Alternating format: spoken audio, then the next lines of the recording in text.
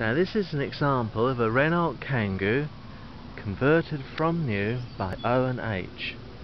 They do all the um, NHS ambulances so they should know a bit about wheelchair conversions. It's done 22,000 miles, two owners, a Renault Kangoo 1200cc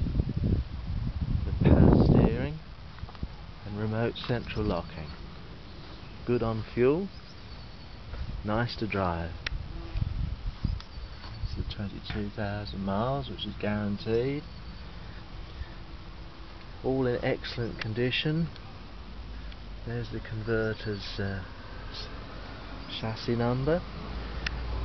It's got the all important remote control winch, the electric ratchet straps that help you in with the wheelchair, twin sliding doors.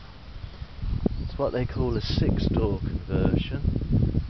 And with this you get doors that go right back, as you see. Nice and easy to handle. Lightweight aluminium wrap. Here's the uh, switch unit for the winch.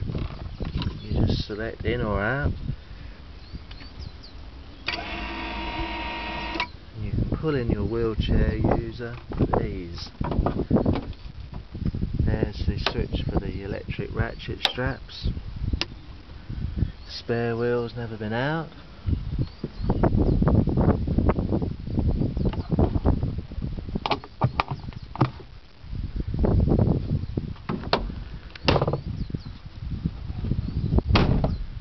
It's also got roof rails so you can put a bar across and put any extra luggage on there.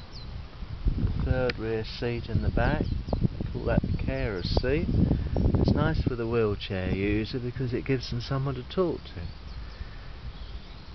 So, um, pretty colour, excellent condition. Thank you.